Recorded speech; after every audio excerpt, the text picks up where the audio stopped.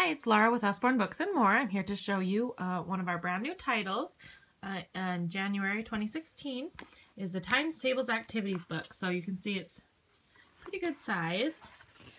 Um, right here in the beginning, it shows you how to use the book and it's got a little um, kind of like a table of contents what times tables you'll find on what pages and then it's just chuck full of all kinds of different activities. And then on the sides there is an actual little times table chart as well.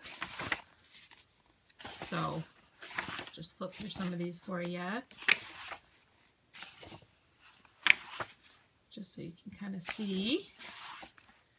And then so I'll just flip through a little bit more. Just tons of activities tons of little um, ways to practice times tables, charts, and things. And then also in the back there are some stickers as well. Super fun activity book. And what a fun way to practice times tables. And then along those same lines, we have the Lift the Flap times tables. I think this is one of the coolest resources ever.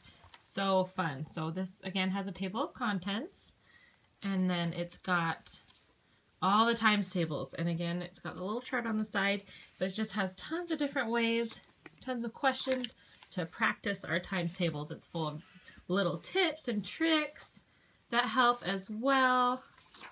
See here. I just love it. So fun. Um, okay, and then over here you can also practice. There's a wheel.